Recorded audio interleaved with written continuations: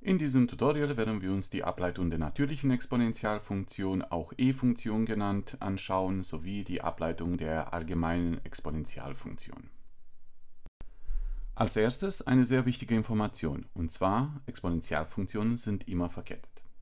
Wir fangen jetzt mit einer e-Funktion an, und wenn sie verkettet ist, dann muss sie natürlich eine innere und eine äußere Funktion besitzen.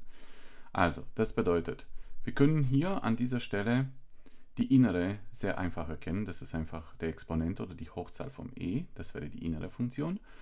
Und die äußere Funktion ist eigentlich die e-Funktion mit alles drum dran, was dran hängt. Also die 2 hier, die vorne steht mit mal, de facto gehört auch zu der äußeren Funktion.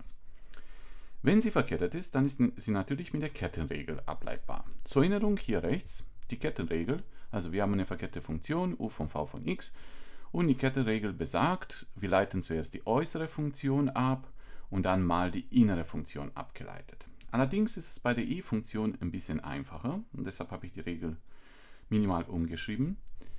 Wir merken den Unterschied, die äußere Funktion wird gar nicht abgeleitet, sondern nur abgeschrieben. Das macht es natürlich für uns noch einfacher. Das bedeutet, wenn wir diese Funktion jetzt hier ableiten möchten, das erste, was wir machen sollten, ist die e-Funktion komplett abzuschreiben. Also wir ändern gar nichts. Und damit ist eigentlich schon dieser Teil hier o von v von x erledigt. Jetzt kommt mal die innere Ableitung. Gut, die innere Funktion ist 4x minus 3. 4x minus 3 abgeleitet sind natürlich 4. Und damit sind wir schon fertig. Gegebenenfalls noch ein bisschen zusammenfassen. 2 mal 4 sind 8, also haben wir 8 mal e hoch 4x minus 3. Und das war die Ableitung der natürlichen Exponentialfunktion.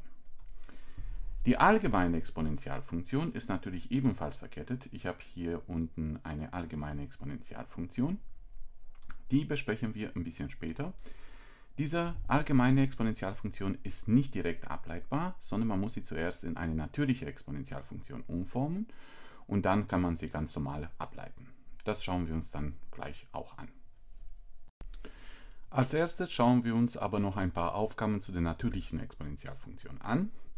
Der Klassiker e hoch x, und jeder sollte sich noch daran erinnern, e hoch x abgeleitet ist e hoch x. Die Frage ist, wieso? Eigentlich haben wir die Frage schon vorher beantwortet. Und zwar, wir erinnern uns an die Regel, die wir vorher besprochen haben. Wir schreiben die e-Funktion zuerst ab und dann kommt mal die innere Ableitung. Die innere Ableitung, also die Ableitung von x in diesem Fall, ist natürlich 1. Aus diesem Grund bleibt e hoch x abgeleitet immer e hoch x. Und das trifft nicht nur für e hoch x auf, sondern für alle Exponentialfunktionen, deren inneren Ableitung 1 ist. Ein weiteres Beispiel, das ist ganz normal, wir wenden die gleiche Regel an. Also wir schreiben wieder alles ab. Das war die äußere Geschichte. Und jetzt die innere Ableitung, 3x minus 2 abgeleitet sind ja 3. Das Einzige, was man hier noch ein bisschen zusammenfassen kann, sind hier die Dreier, also man kann sie besser gesagt kürzen und dann bleibt ja nur noch 4 mal e hoch 3x minus 2. Ein bisschen mieser geht es auch. Ähm, ich habe hier eine zusammengesetzte Funktion und natürlich müssen wir hier an dieser Stelle jeder Term einzeln ableiten. Bevor wir damit loslegen, allerdings will ich kurz was in Erinnerung bringen. e selbst, die Eulersche Zahl, kann nicht nur im Zusammenhang mit Exponentialfunktionen auftauchen, so wie hier, sondern man kann es auch als Zahl betrachten. Wir erinnern uns, genauso wie Pi ist e auch eine mathematische Konstante, circa 2,71 und natürlich noch ein paar Stellen nach dem Komma. Und das bedeutet, wenn es nicht als Exponentialfunktion auftaucht, muss man es wie eine Zahl behandeln.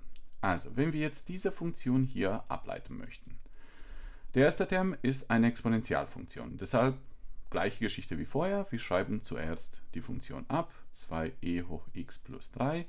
Und dann kommt mal die innere Ableitung. Die innere Ableitung ist in diesem Fall 1. x plus 3 abgeleitet sind 1. Dann der nächste Term, das ist ja kein Versehen oder Schreibfehler, sondern da steht e mal x hoch 2. Das ist natürlich eine Potenzfunktion. Deshalb wenden wir die Potenzregel an.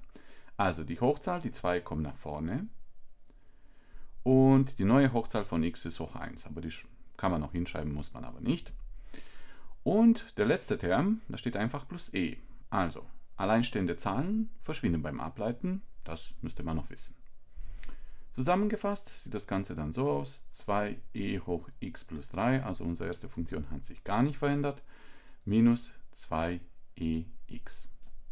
Also aufpassen mit dem e, es muss nicht immer im Zusammenhang mit einer Exponentialfunktion vorkommen.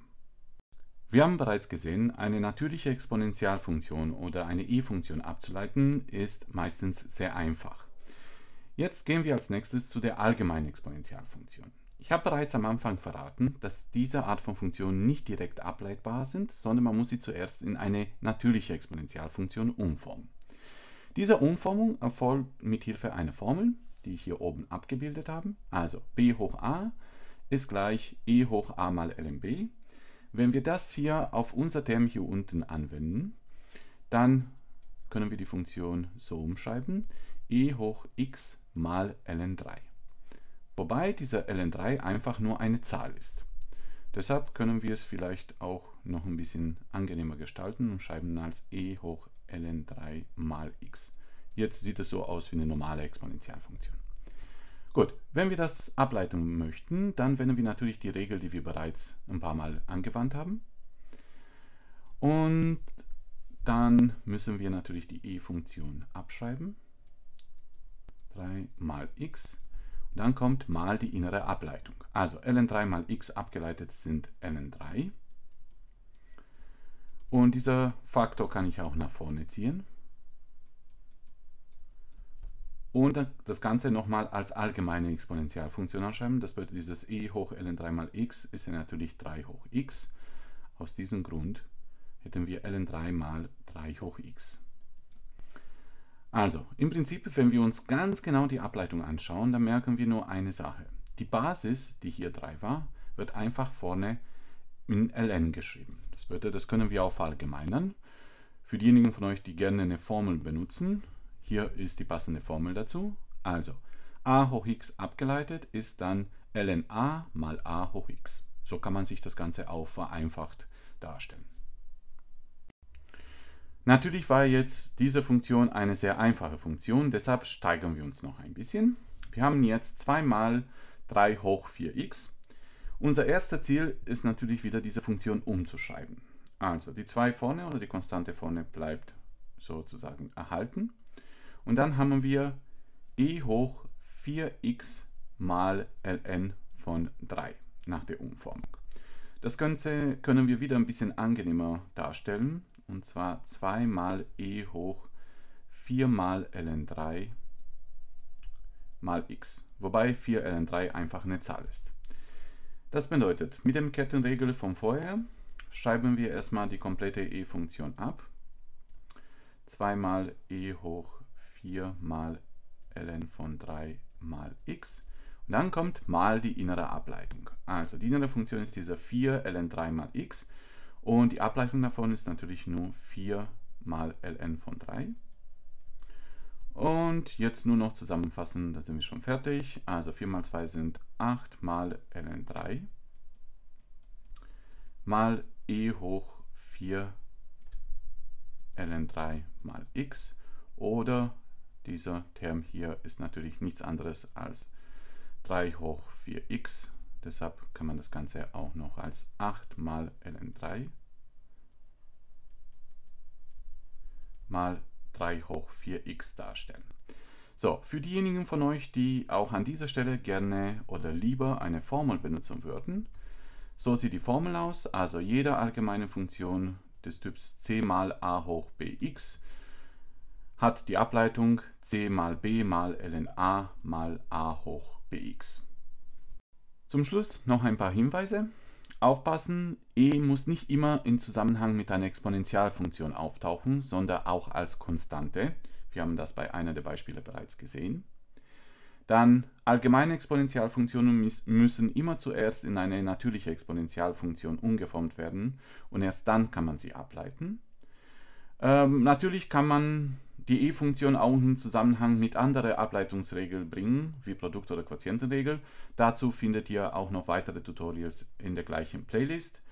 Und wenn ihr zu anderen Funktionstypen noch Tutorials sucht, zum Beispiel trigonometrische Funktionen oder ganz rationale Funktionen, gibt es auch noch genug Tutorials in der Playlist.